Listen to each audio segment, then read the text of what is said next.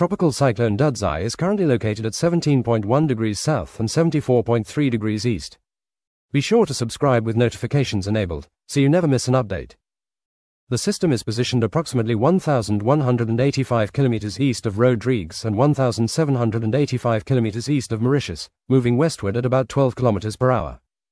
Dudzai is maintaining significant strength with maximum sustained winds of around 150 km per hour and gusts reaching up to 215 km per hour, with an estimated central pressure of 972 hectopascals.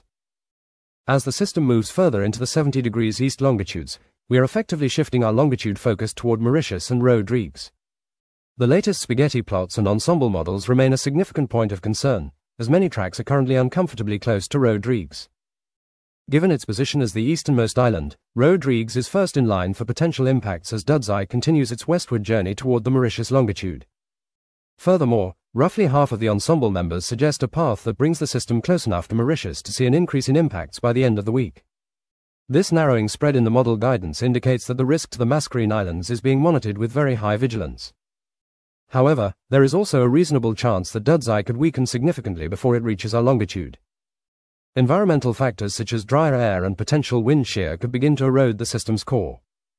If this weakening trend holds, the impacts on Rodrigues and Mauritius would be much more minimal, potentially shifting the threat from a severe cyclonic event to peripheral rainbands and moderate surf. We are watching this closely, and we will get a better understanding of what is likely to happen over the coming day or so as the steering currents stabilize. For now, no cyclone alerts are in effect for Reunion, but residents in the eastern Mascarene Islands should remain weather aware and continue to follow official updates. We will keep an eye on the system and any others that develop in case they pose a threat to the region. Be sure to like and subscribe with notifications on so you never miss an update.